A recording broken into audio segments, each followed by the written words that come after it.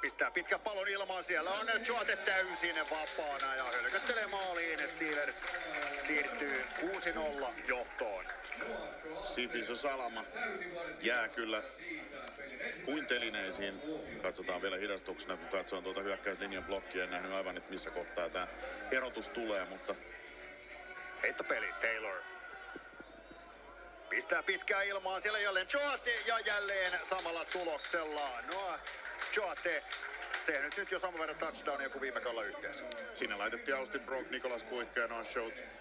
9 jardia matkaa maaliin. Taylor. Aika on, jälleen pitkä heitto nyt kohtana. Brock, Brock nappaa pallon kiinni ja Hyyryläinen hänet kaataa, mutta siinä muutama jaari päässä maalista. Tämä akseli toimii, se toimii loistavalla tavalla. Aikaa Heittopeli. Marshall ja touchdown ja kyllä helposti on Erittäin. nämä kaikki kolme Steelersin TDtä syntynyt. erittäin helposti. Max Poikonen siellä Brock aina vasemmalla puolella ja viime hetkellä saa Taylor pelin käyntiin.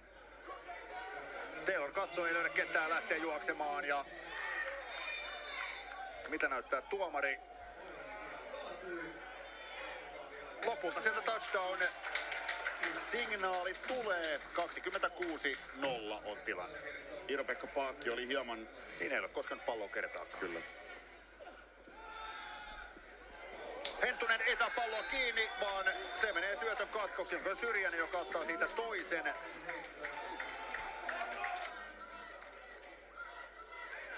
Taylor heittopeli kulmassa on täysin vapaana. Onko sitten se on Brock. Austin Brock. Neljäs touchdown hänelle tämän kauden tuttu Vaahteraliigassa. parivaljakko. Ja Heikki Tirkkonen nähdäkseni tuo puolustaja, joka missaa tuon Brokin Pallo Raudverille. Raudver polkee maalialueelle, tekee ensimmäisen liiga TDnsä ja kasvattaa Steelers johdon 38-0. Hän lop- lopulta päätyy sinne muutaman lukuaskeleen ottaa mielestäni liikaa, mutta sitä löytyy sitä tilaa kuitenkin tuolta Wolverines puolustuksesta sen verran. Taylor omalla maalialueellaan. Taylor lähtee pois paineen alta. Hyvä heitto lähtee juoksusta ja Joati ottaa sen kiinni. Vai ottaako? Katsotaanpa nyt tuomariston keskustelua sieltä kahdesta kulmasta. Katsellaan, miten tilanne etenee. Katsotaan hidasta. Peli lähtee käyntiin ajoissa. Jälleen pitkä heitto nyt kohti Kuikkaa. Kuikka nappaa pallon kiinni ja hänet painetaan. Puolustajan pääsyä pelirakentajan suuntaan ja nopeassa suunnanvaihdossa tapahtuu Heitto kohti Paakkia ja Paakki ottaa sen maalialueella. Iiro-Pekka Paakki, EM-hopeamitalisti viime kaudelta Suomen maajoukkueessa, tekee kauden ensimmäisen TDnsä. Taylor heittää jälleen Paakille. Se on se niin sanottu octopus-yritys. Lugora keskushyökkäjänä. Pallo hänelle. Lugora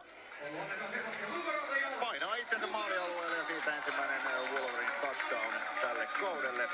Kaudella touchdownia ja nyt sitten pariin vuoteen ensimmäinen kerta, kun Wolverines onnistuu pisteitä tekemään Steelersia vastaan. Niin mikä tärkeintä juoksu tässä on, että tosiaan viime kaudella riskejä ei lähde pelaamaan näitä viimeisiä sekunteja. Se on sitten laji etiikkaa.